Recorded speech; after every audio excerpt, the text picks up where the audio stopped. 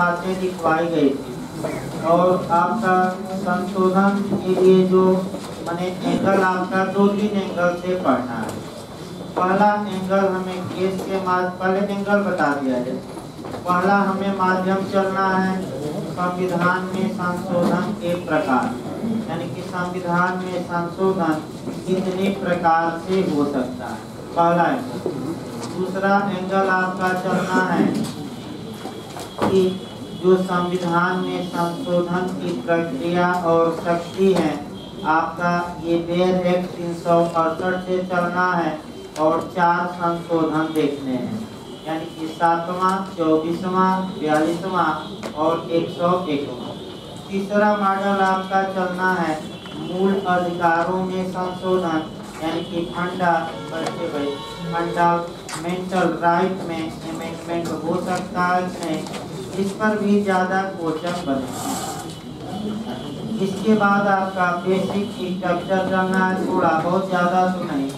और लास्ट में आपको ये देखना है कि वर्तमान में आखिर भारतीय व्यवस्था कैसे संचालित हो रही है, अर्थात कैसे की है।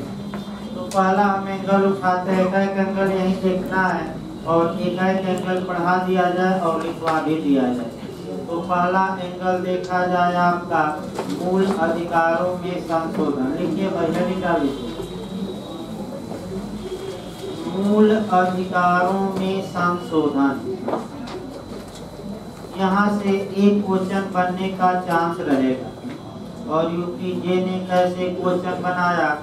आपका अन्य राज्य कैसे मॉडल बनाते हैं? मॉडल भी देखते हेडिंग डालीजिए फंडामेंटल राइट में अमेंडमेंट यानी कि मूल अधिकारों में संशोधन। लिखिए भाई वर्तमान नियम क्या लिखिए भारत की संसद। लिखिए पहला लाइन, भारत की संसद संविधान के किसी भी प्रावधान में संविधान के किसी भी प्रावधान में संशोधन कर सकती है।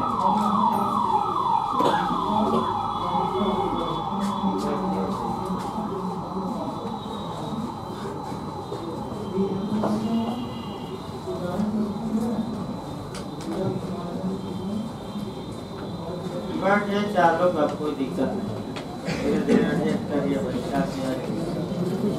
संविधान के किसी भी प्रावधान में संशोधन कर सकती हैं, लेकिन लेकिन मूलभूत ढांचे में संशोधन नहीं कर सकती।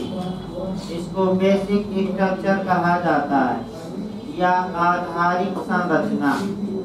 लेकिन मूलभूत ढांचे में संशोधन नहीं कर सकती। अब पहला मॉडल यहाँ आपको देखना है, सतर्क होकर, मूलभूत ढांचे में।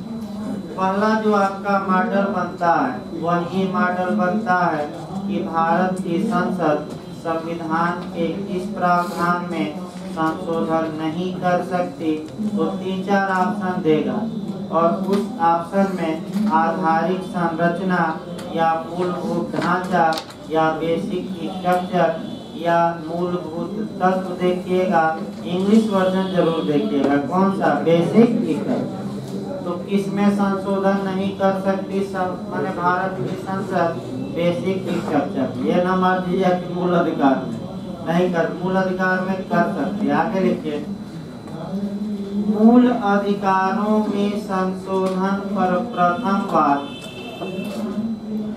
मूल अधिकारों में संशोधन पर प्रथम बात ये भी क्वेश्चन आ चुका है। प्रथम बात शंकरी प्रसाद वर्सेज भारत संघ। और केस के माध्यम से चला जा रहा है।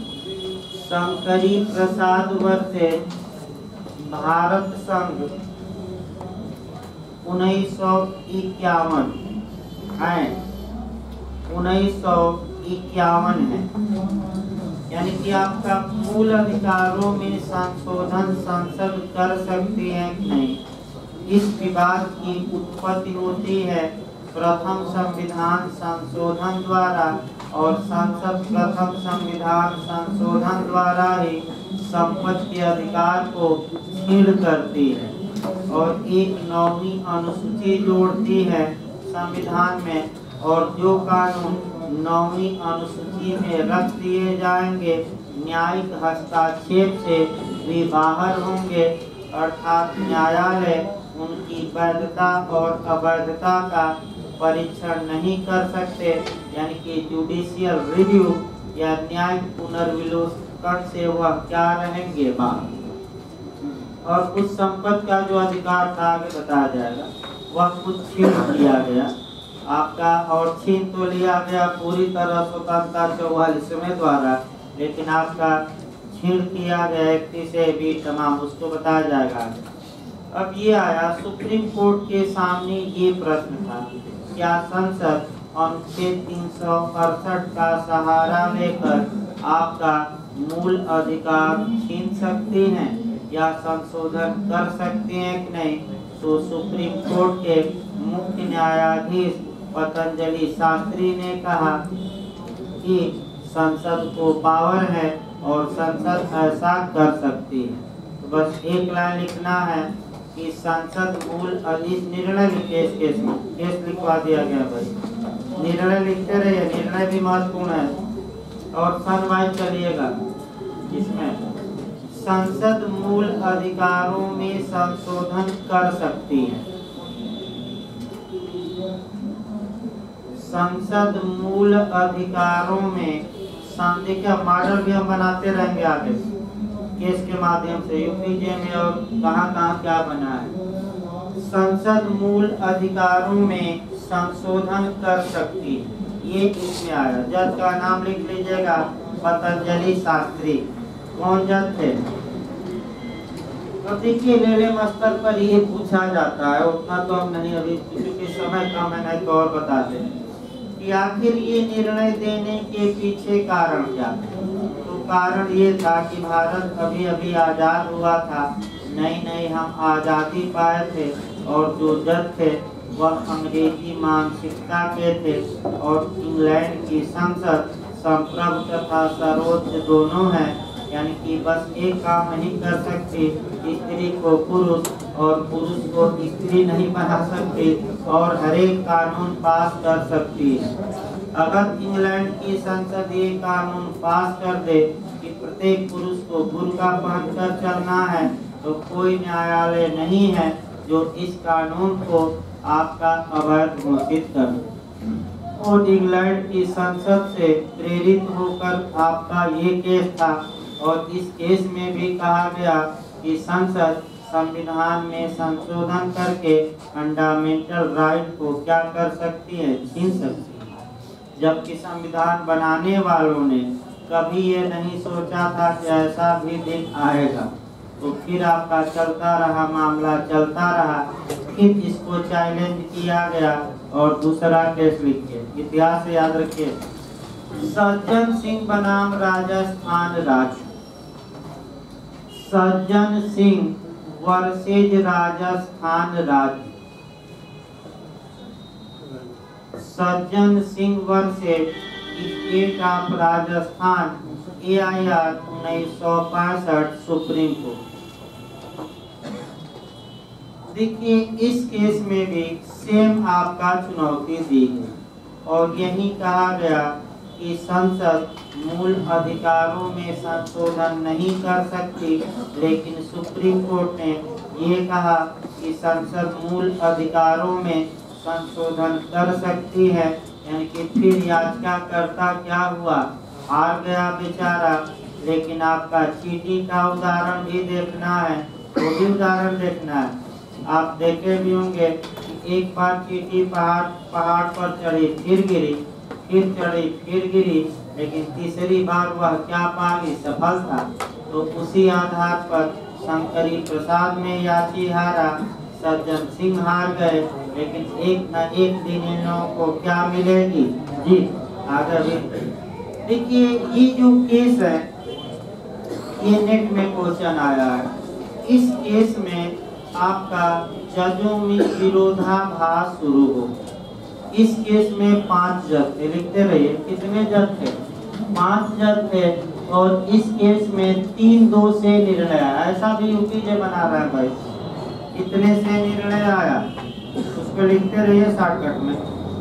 कुल पाँच जजों की पीठ बैठी थी और इस केस में जो निर्णय आया, वह आया तीन दो।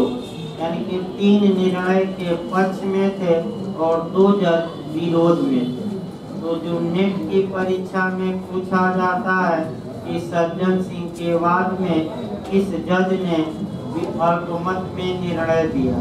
और आजकल नया मॉडल ये चल रहा है। तो पहला लिखिए मुख्य न्यायाधीश मुख्य न्यायाधीश भी चलता रहा मुख्य न्यायाधीश थे Gajendra Gadkar. C J I, chief justice of India. Gajendra Gadkar थे लिखिए गजेंद्र गडकर ये याद रखना, फिर आपका अल्पमत में दो लोगों ने अपना एक निर्णय लिखे भाई, कब अल्पमत में लिखवा जाए क्रम से चला जाए। निर्णय इस केस में क्या आया? इस केस में फिर वही पुरानी कहानी दोहराई गई कि संसद मूल अधिकारों में संशोधन कर सकती है। एक लाइन निर्णय लिखिए। संसद मूल अधिकारों में संशोधन कर सकती है। यानी कि शंकरी प्रसाद के मामले में दिए गए निर्णय को पुनः सुप्रीम कोर्ट ने क्या किया दोहरा?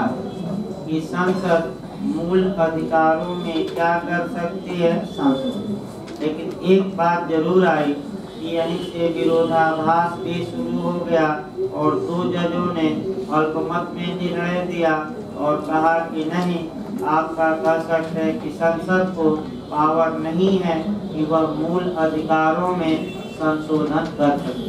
तो भी अल्पमत में लिखिए। अल्पमत में निर्णय जस्टिस हिदायतुल्लाह एवं जस्टिस मधोलकर ने दिया।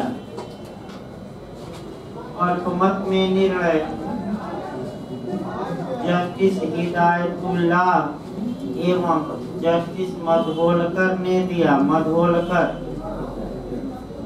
स्पीड बढ़ाइए लिखने की। स्लो ही चल रहा है, बहुत। जस्टिस आपका हिदायतुल्लाह और मधोलकर पूछ सकता है भाई, अंदर जाकर। इसके बाद आपका पूछा जाता है कि इस जज ने सर्वप्रथम इस ओर इशारा किया था कि संविधान में कुछ ऐसे तत्व हैं? जिनमें संसद संशोधन नहीं कर सकती। तो अगर आप कहें कि मूलभूत ढांचे का हल्का सा इशारा दिया था और वह दिया था जस्टिस मधोलकर मधोलकर ने ये कहा था कि संविधान में कुछ ऐसे तत्व हैं, जहाँ की संसद को संशोधन करने की शक्ति। अब समस्या यह आई कि भाई तीन दो से निर्णय आया। तो बहुमत का निर्णय मान्य होता है, लेकिन आपका विरोधाभास की शुरुआत भी इसी निर्णय से क्या हुई हुई? देखिए पैराग्राफ चेंज करके भाई। इस वाद में जस्टिस मधगोलकर ने अल्पमत में थे, मान्य नहीं होगा ये, मैं फिर बता दूँ। इस वाद में जस्टिस मधगोलकर ने यह कहा कि, यह कहा कि संविधान में कुछ ऐसे तत्व हैं। संविधान में कुछ ऐसे तत्व हैं, जिनका संसद संशोधन नहीं कर सकती। जिसका संसद संशोधन नहीं कर सकती यहीं से मूलभूत ढांचे का विकास शुरू हुआ। देखिए हो सकता अंदर जाकर। यही जो शब्द है, यहीं से किसकी शुरुआत होती है? बेसिक स्ट्रक्चर यानी कि यहीं से आपका बेसिक स्ट्रक्चर की शुरुआत होती है। आइए, तीसरा आता है आपका, तीसरा लिखिए गोलकनाथ बनाम पंजाब राज्य क्रम से लिखिएगा क्रम से लिखवाया जा रहा है। क्रम टूटे ना। क्रम टूटेगा तो एविडेंस की धारा छह का रेजेक्टे भी बाहर हो जाएगा। इससे रेजेक्टे जानते हैं ना कि माला बनाई जाती है और एक पुरिया माला में क्या की जाती है। अगर एक पुरिया मिस कर गई तो क्रम क्या होगा? माला का। चैन का टूट जाएगा। तो इसीलिए केस क्रम से याद रखिएगा। अब देखिए कैसे कैसे क्वेश्चन इससे बने हैं। उन्नीस सौ सड़सठ का अभी लिखवा रहे हैं लिखिए Golaknath versus state of Punjab A I R one nine six seven यानी कि उन्नीस सौ सड़सठ सुप्रीम कोर्ट। लिखिए इसमें, मुख्य न्यायाधीश सुब्बा राव वाले सामान्य बातें लिखिए तब तो बताया जाए मुख्य न्यायाधीश इसमें थे सुब्बा राव पूछा जा चुका है सुब्बा दूसरा, कुल जजों की संख्या इलेवन। कुल जज ज़रूर याद रखिएगा। कुल जजों की संख्या इलेवन, यानी कि ग्यारह थी। देखिए छ पाँच से निर्णय आया, यानी कि छह लोग बहुमत में निर्णय दिए। और पाँच लोग अल्पमत में बहुमत का फैसला मान्य होगा लिखिए ये भी पूछा है कितने से निर्णय छः, पाँच से निर्णय आया। अब यूपीए का मॉडल देखा कि इस केस में शंकरी प्रसाद तथा सज्जन सिंह के बाद में दिए गए निर्णय को सुप्रीम कोर्ट ने अपास कर दिया, या साइड कर दिया, उलट दिया। इसमें लिखे नीचे इस वाद में उपर्युक्त दोनों निर्णय नाम नहीं लिखा जाएगा। उपर्युक्त दोनों मतलब पहला, दूसरा। ये यूपी जे दो बार बनाए क्वेश्चन। थोड़ा सतर्क रहिए। उपर्युक्त वाद में नहीं, इस वाद में इस वाद में उपर्युक्त दोनों वादों में दिए गए निर्णयों को उपर्युक्त दोनों वादों में दिए गए निर्णयों को उच्चतम न्यायालय ने सेट एसाइड इंग्लिश में कहा जाता है सेट एसाइड या अपास कर दिया, उलट दिया। याद रखिए अपास कर दिया या उलट दिया, एक ही है। अब देखिए मॉडल यूपीजे का दोबारा है मॉडल गोलकनाथ के बाद में किन देशों, इन दो आपका केसों में दिए गए निर्णय को उलट दिया गया। दे दिया पहला शंकरी प्रसाद, दूसरा सज्जन सिंह, तीसरा आपका दोनों और चौथा इनमें से कोई नहीं। इनको पलटा गया दोनों। ये दो बार आए जा सकता बिहार इसमें आखिर निर्णय क्या आया ये आपको चार पाँच लाइन जो है मेन मेन बात है। वो ज़रूर देखना है। पहला निर्णय ये आया कि आपका संसद मूल अधिकारों में संशोधन नहीं कर सकती। लिखते रहिए। पहला फैसला आया कि संसद मूल अधिकारों में संशोधन नहीं कर सकती। आपका पहला फैसला ये आया दूसरा दूसरा देखा जाए बिंदु जो महत्वपूर्ण है। देखिए तो हल्का तेज़ी लगे, नहीं कर। दूसरा जो महत्वपूर्ण बिंदु है, वह ये है कि इस बात में ये कहा गया कि अनुच्छेद तीन सौ अड़सठ के तहत संसद को संविधान में संशोधन की शक्ति नहीं दी गई है। बल्कि केवल और केवल तीन सौ अड़सठ क्या बताता है? प्रक्रिया। लिखिए अनुच्छेद निर्णय लिखिए दूसरा पॉइंट क्या है? लिखिए अनुच्छेद तीन सौ अड़सठ में केवल संविधान में संशोधन की प्रक्रिया दी गई है। ये निर्णय क्या है? लिखवाया जा रहा है। केवल संविधान में संशोधन की क्या दी गई है? प्रक्रिया। आपको पावर नहीं है। तीसरा आइए। लिखिए, हो गया नहीं है? तीसरा पार्ट लिखिए। इस वाद में भविष्य लक्ष्य विनिर्णय का सिद्धांत प्रतिपादित किया गया। इस वाद में भविष्य लक्ष्य विनिर्णय आगे से लागू भविष्य लक्ष्य विनिर्णय का सिद्धांत प्रतिपादित किया गया। इसको समझिए भाई भविष्य लक्ष्य विनिर्णय क्या होता है? भविष्य लक्ष्य विनिर्णय इंटरव्यू में पूछा जाता है और जो स्टूडेंट्स में पूछ सकता है अच्छे से तैयार किए गए मिनट अलग से भले भी न्यायालय फैसला तो देता है, याची के पक्ष में। यानी कि आपका अब जो पिटीशन दायर किया रहता है, उसके पक्ष में, लेकिन याची को कोई रिलीफ नहीं देता यानी कि याची जीतता है, लेकिन याची को कोई अनुतोष नहीं मिलता। और ये कहा जाता है कि आप जीते लेकिन जो ये मैं फैसला दे रहा हूँ, ये आगे आने वाले मामलों में लागू होगा, आपके मामले में नहीं। ये अच्छे से फिर एक बात याची के याची के पक्ष में फैसला आता है। लेकिन याची को या पिटिशनर को कोई रिलीफ न्यायालय नहीं देता। और उस फैसले में जो प्रतिपादित सिद्धांत है, वो कब से लागू होगा, भविष्य में आने वाले मामले। इसी को हम क्या कहते हैं? भविष्य लक्ष्य निर्णय। इसी पढ़ते बजा के देखिए। तत्पश्चात इस केस में आपका कह सकते हैं कि पूरी तरह संसद का पर काट दिया गया था। और संसद पर सुप्रीम कोर्ट ने चाबुक चलाया यानी कि पहली बार हमारा सुप्रीम कोर्ट बता दिया कि संसद सर्वोच्च नहीं है, बल्कि सर्वोच्च कौन है?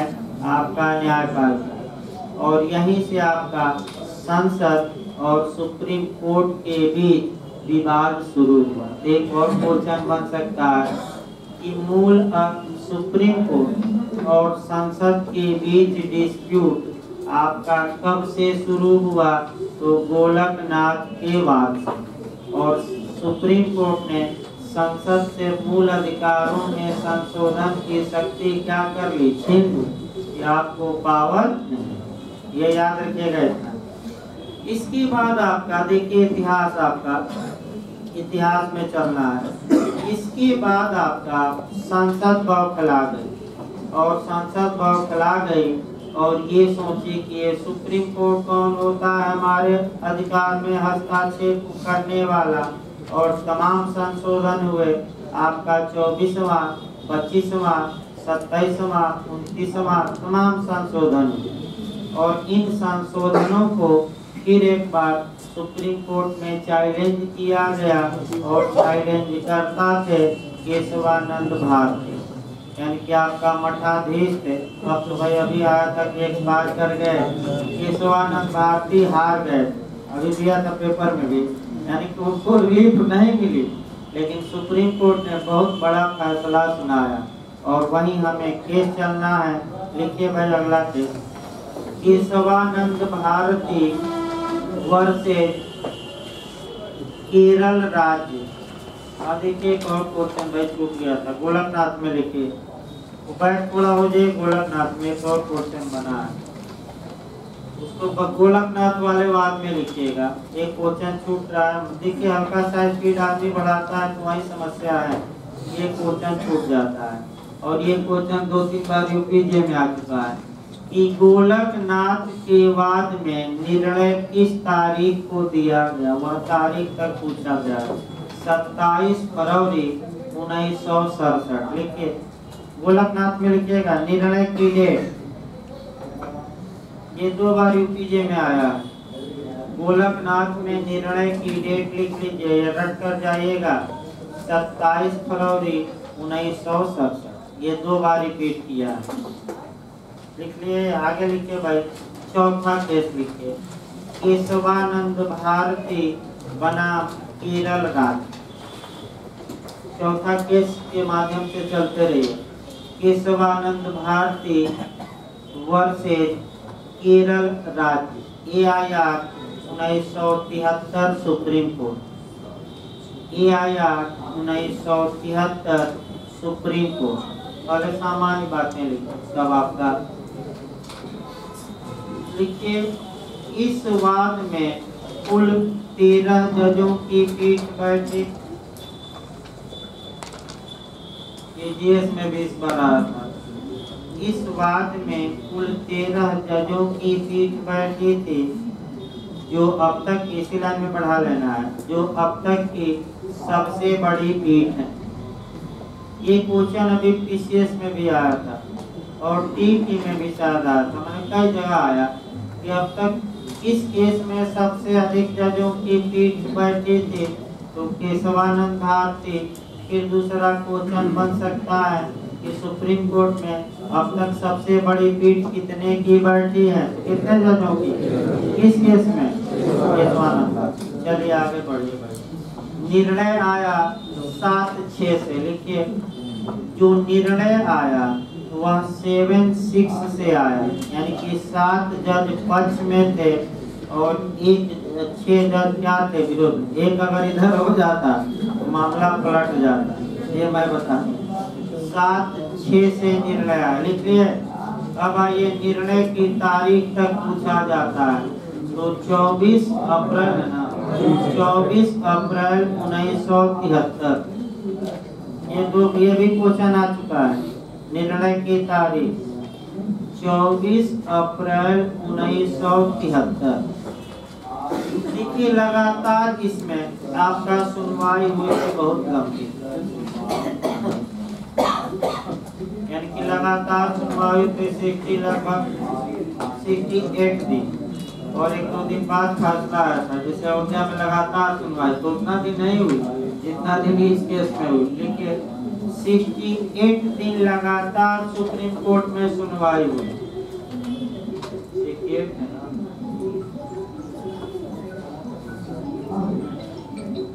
भाई सिक्सटी इसमें काट दीजिए भाई, एक बार हम देख रहे हैं। सिक्सटी एट काट दीजिए। इसको कल हम बता देंगे फिर आपका। सिक्सटी एट काट दीजिए। अभी ना लिखिए आगे चलिए। इसके बाद आपका मुख्य न्यायाधीश लिखे, सीकरी। सामान्य बातें हो जाए, तब तो बताया जाए। कुछ मुख्य न्यायाधीश सिकरी महोदय थे। देखिए, अब क्या निर्णय आया? अब आइए, देखिए, चुनौती दी गई। चौबीसवा संविधान संशोधन, पच्चीसवा, छब्बीसवा किया गया था और इस संशोधनों द्वारा हुआ क्या था? पहले ये देखिए, और तब केशवानंद भारती का वादे। देखिए, जब आपका गोलकनाथ का मामले में निर्णय आ गया, और सुप्रीम कोर्ट ने बता दिया कि मैं बड़ा हूँ, यहीं से अब संसद भी बौखला गई। और देखिए क्या क्या चौबीसवें संविधान संशोधन द्वारा संविधान में चेंजिंग लाई गई पहले उसको देखना चार पाँच कम से कम। पहला अनुच्छेद तीन सौ अड़सठ में संशोधन किया गया काफ़ी और संशोधन पहला ये किया गया कि हेडिंग ही बदल दी गई। क्योंकि तो केशवानंद भारती में कहा गया था कि तीन सौ अड़सठ में केवल प्रोसीजर है, संसद की शक्ति नहीं है तो अब आपका वर्तमान में क्या लिखा गया है? प्रक्रिया तथा तो शक्ति शब्द कब जोड़ा गया? चौबीसवें संविधान संशोधन अधिनियम। इसके बाद आपका ये, फिर ये हुआ कि राष्ट्रपति कहीं आना कानी न कर दें तो आपका फिर संशोधन किया गया।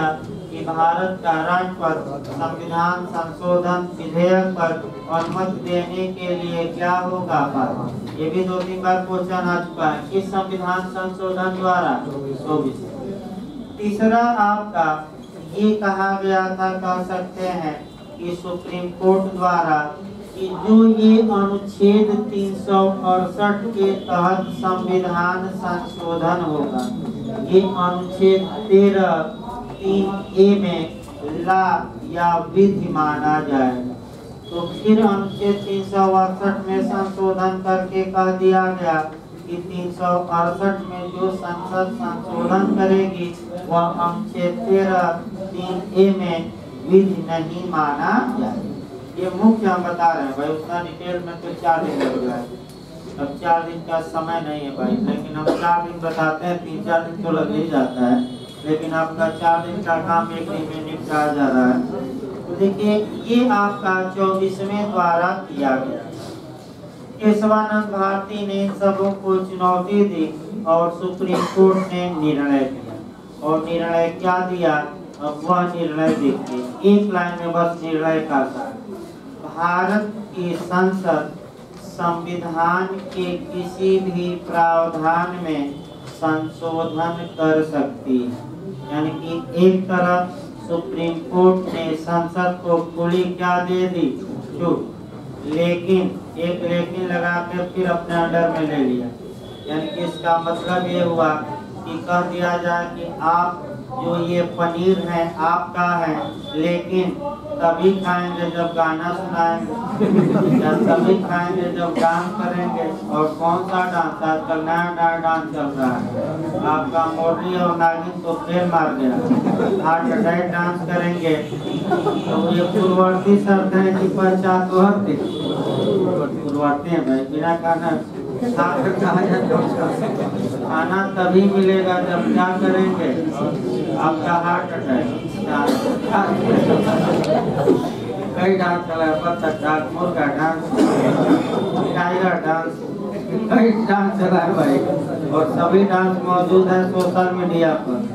आप यूट्यूब पर सर्च करिए, आपका सभी मिल जाएगा भाई। फिर एक बार देखिए, देख रहा था, पीछे वाले भाई बहुत समय से चल रहा है। असल बात टेक्निकल तो है ही भाई, जो लोग नहीं पढ़े हैं। या एल पास करके आ गए हैं डायरेक्ट और कुछ नहीं पढ़े हैं। तो इस समय एक साल कम से कम देना पड़ेगा कंपटीशन के लिए तैयार करने। और यहाँ ज़्यादा लोग भाई पके पकाया मैं तो हमें दोनों को लेकर चलना है। इसीलिए थोड़ा स्लो भी चल रहा है, तब तक कुछ निपटा दिया गया रहता है। ये समस्या है।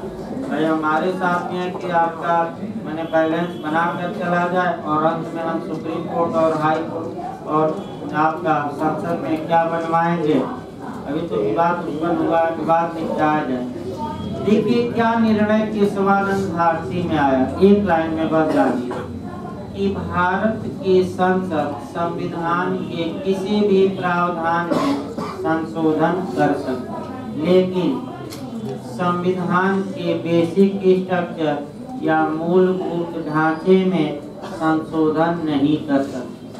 तो मूलभूत ढांचे का सिद्धांत किस केस में प्रतिपादित किया गया।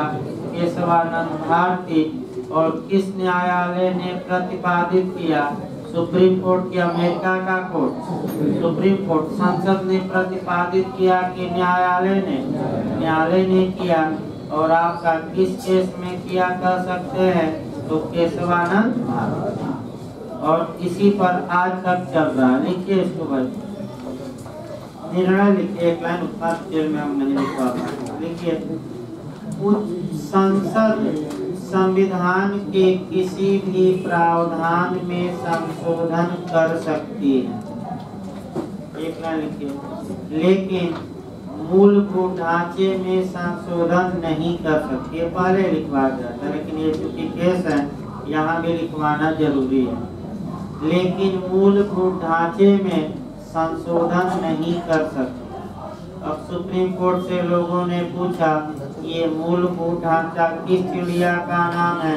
तो सुप्रीम कोर्ट बताने से इनकार कर दिया और ये कहा कि संसद संविधान में संशोधन करे, हमारे पास चुनौती दी जाएगी और तब मैं विचार करूँगा कि बेसिक स्ट्रक्चर डिस्टर्ब हुआ है कि नहीं। यानी कि इशारों को अगर समझो तो रात को क्या करने दो? रात रहने दो। यानी कि सुप्रीम कोर्ट के दिल में छुपा है कि किसे वह बेसिक स्ट्रक्चर माने। अभी आपका जो राष्ट्रीय न्याय नियुक्ति है, उसको बेसिक स्ट्रक्चर मान कर रद्द कर दिया। तो आगे बताया जाएगा। आगे देखिए भाई आपका। यानी कि केशवानंद भारती के बाद में ये निर्णय आया। उसके बाद अगला केस लिखिए। भाई एक और लाइन इसमें लिखना है। कि गोलकनाथ में दिए गए निर्णय को किस केस में अपास किया गया? तो केशवानंद लिखिए लिखिए। गोलकनाथ के वाद में दिए गए निर्णय को इस वाद में अपास कर दिया गया। ये नया क्वेश्चन बन सकता है। गोलकनाथ के वाद में दिए गए निर्णय को इस बात में सेट एसाइड पास कर दिया। तो गोलकनाथ के वाक में क्या निर्णय दिया गया था कि संसद मूल अधिकारों में संशोधन नहीं कर सकती, लेकिन सुप्रीम कोर्ट ने इस केस में क्या कहा? कर सकती है, लेकिन किसमें नहीं करेगी? जैसे अगला जैसे श्रीमती इंदिरा नेहरू गांधी वर्सेज राज नारायण। पिछली बार बिहार में बना था क्वेश्चन इस बार तो नहीं बना। श्रीमती इंदिरा नेहरू गांधी वर्सेज राज नारायण। उन्नीस सौ पचहत्तर का केस है सुप्रीम कोर्ट का। इसमें जो क्वेश्चन बनता है वो देखिए। सर्वप्रथम किस केस में मूलभूत ढांचे के आपका परीक्षण किया गया। देखिए, सिद्धांत प्रतिपादित किया गया किसमें केशवानंद भारती। लेकिन सबसे पहले विचार करने का मौका आया सुप्रीम कोर्ट के सामने किस केस में? ये उस अदालत से। किसमें? श्रीमती इंदिरा नेहरू गांधी वर्सेज राज और इस केस में दो बातें, तीन बातें जाननी है। सबसे पहले इस केस में बेसिक स्ट्रक्चर का कर सकते हैं कि परीक्षण किया गया। सिद्धांत प्रतिपादित नहीं, परीक्षण। तो कौन सा? आपका श्रीमती इंदिरा नेहरू गांधी। दूसरा, स्वतंत्र एवं निष्पक्ष न्यायपालिका और स्वतंत्र एवं निष्पक्ष चुनाव। ये दोनों को बेसिक स्ट्रक्चर माना किसने? सुप्रीम कोर्ट ने। और इस केस में? श्रीमती इंदिरा नेहरू और यही बिहार में पिछली बार लिखिए तीन एंगल से इसको। सर्वप्रथम मूलभूत ढांचे। सर्वप्रथम मूलभूत ढांचे का परीक्षण इस वाद में किया गया। इस वाद में किया गया। तथा अच्छे से के पिछली बार बिहार बन बना चुका है जे में। तथा स्वतंत्र एवं निष्पक्ष चुनाव।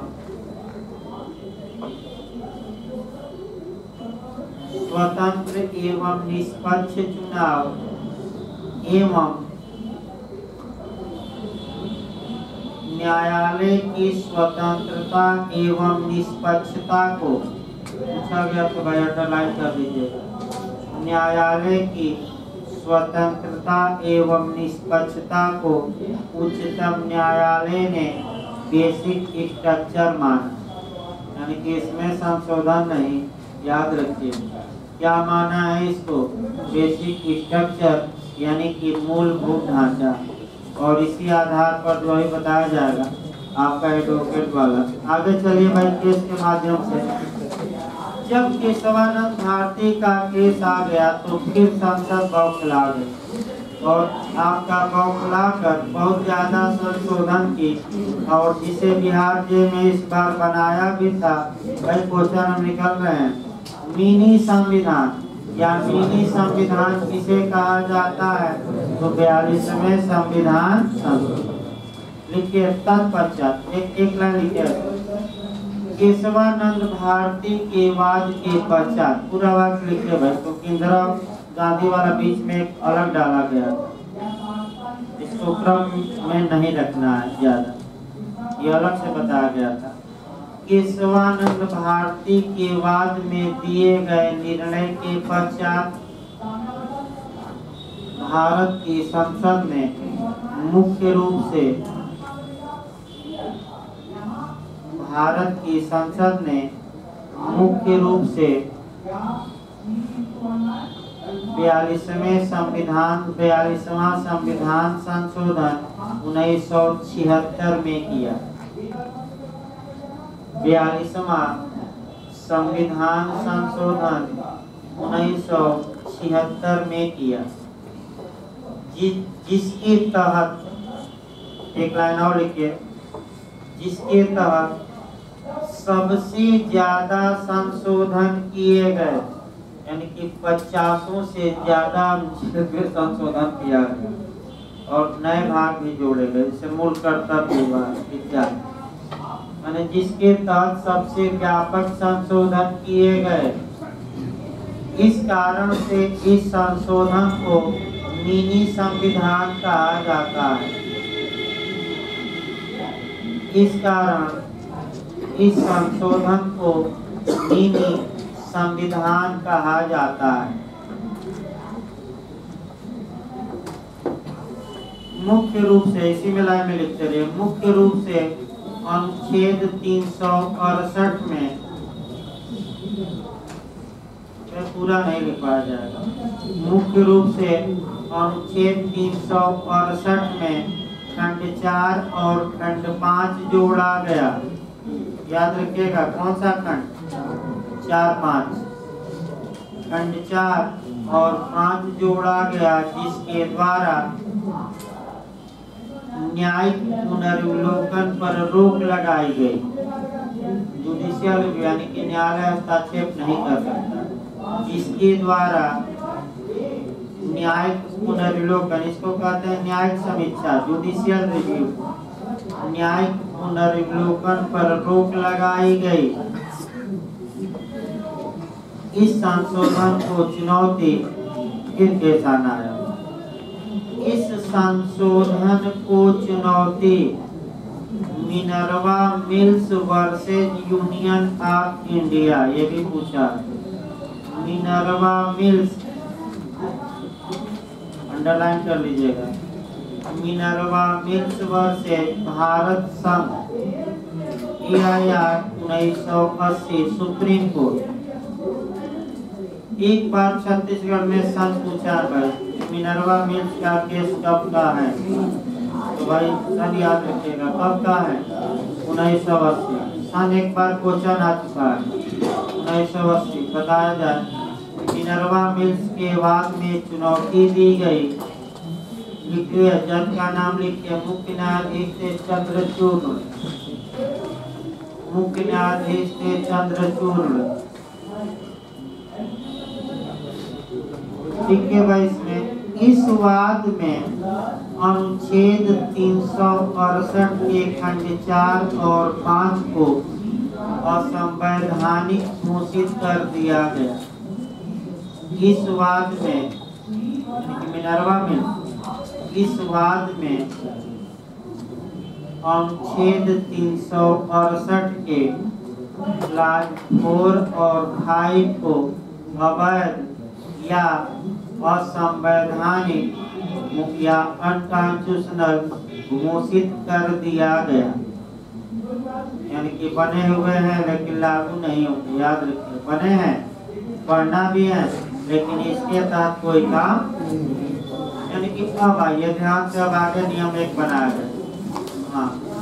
देखिए, केशवानंद भारती से उठाइए फिर तब आगे बढ़ा जाए केशवानंद भारती के बाद उच्चतम न्यायालय ने ये कहा था कि संसद संविधान में कहीं भी संशोधन कर सकती है, लेकिन उसके बेसिक स्ट्रक्चर में संशोधन नहीं कर सकती। अगर संशोधन द्वारा संविधान के मूल तत्व डिस्टर्ब होते हैं तो सुप्रीम कोर्ट उस संशोधन को अनकॉन्स्टिट्यूशनल या अवैध घोषित करने की क्या रखेगा? अब एक आपका और बचा नौवीं अनुसूची। यानी कि नौवीं अनुसूची बची, इसका क्या होगा? ये भी तो संविधान में है। अब सुप्रीम कोर्ट की टेढ़ी नज़र इसी पर पड़ी। और उन्नीस सौ इक्यासी का केस आया। वामन राव का और वर्तमान में आई आर सिल्लो। लिखिए भाई डाल लीजिए तो अलग से नौवीं अनुसूची नौवीं अनुसूची लिखिए।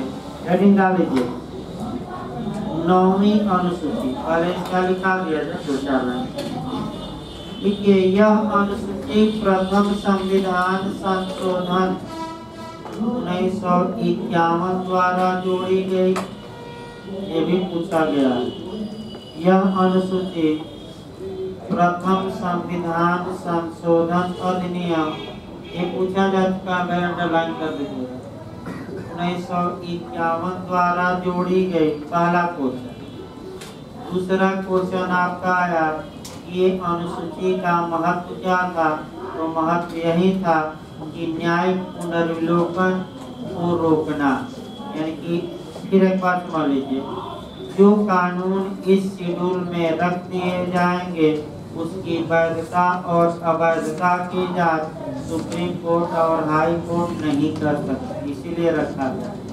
इसको दूसरी भाषा में लिखवा लिखवा भाई आवाज़ धीरे धीरे बोल होती जा रही है। अच्छा की दिक्कत है शरीर में और आवाज़। सुबह भी कम चला, एक क्लास चल ही नहीं पाया इसलिए रोका गया कि काम को खुद चाहिए सुबह से ही आपका थोड़ा बहुत समस्या है इसको कल कल बता दें भाई फ्लो नहीं बन पा रहा है लिखवाने से केवल नहीं बस थोड़ा